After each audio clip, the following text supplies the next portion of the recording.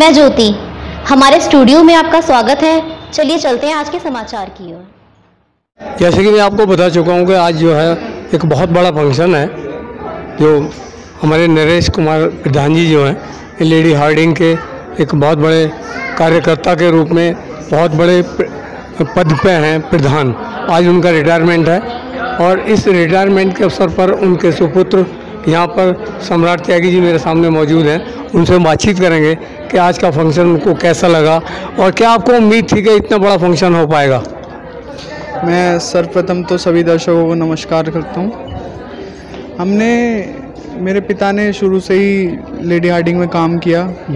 लगातार 12 से 13 साल तक प्रधान रहे महासचिव रहे और यूनियन के प्रमुख पदों पर रहे।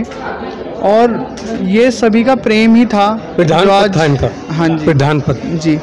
प्रधान अभी प्रधान पद से ही रिटायर हुए हैं। ये हिस्ट्री में पहली बार इतिहास में पहली बार हुआ है कि प्रधान पद से कोई इंसान रिटायर हुआ है यहाँ पर। और ये सबका प्रेम ही था जो यहाँ के डॉक्टर यहाँ के डायरेक्टर हमारी भाजपा के लीडर और और भी पार्टियों के लीडर उनसे मिलने आए। जो वो लीडर आए थे क्या नाम बता रहे थे आप उनका?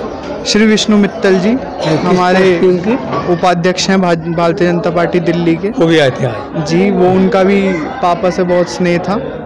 और सभी बहुत से ऐसे पापा के जानकार जो यहाँ एच हैं और बहुत बड़े बड़े पदों पे हैं और हमारे गाँव के सभी लोग जो इतने किलोमीटर से चल के केवल इस पार्टी को ज्वाइन करने आए उनका मैं तहे दिल से धन्यवाद करता हूँ और सभी को यहाँ आने के लिए धन्यवाद मेरी तरफ़ से।